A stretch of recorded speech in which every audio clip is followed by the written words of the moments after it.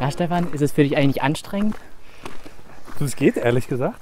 Aber ja, was haben die natürlich in dieser Broschüre? Weißt du, als leichter Anstieg. Empfindest du das wie einen leichten Anstieg? Nee, also auf gar keinen Fall.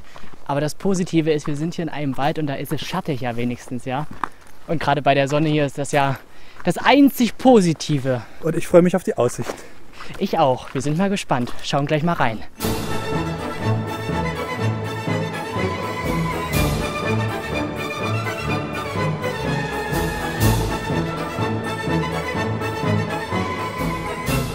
Jetzt sind wir hier oben auf der Luisenburg. Das war früher mal ein kleines Ausflugsschlösschen. Genau, 1728 wurde dieses, ich muss das jetzt ablesen, dieses eingeschossige Fachwerkbau mit achteckigem Saal für die Herzogin äh, Christine Luise errichtet und 1945 aber leider wegen Baufälligkeit wieder abgerissen. Okay, wir gucken jetzt, wo der Stempelkasten ist. Ich habe ihn vorhin schon gesehen und schauen uns den Ausblick Richtung Kattenstedt an.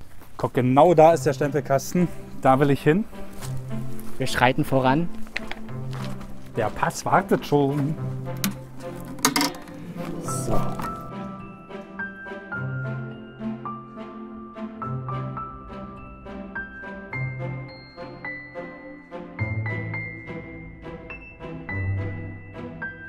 So, die 77, eine Schnapszahl.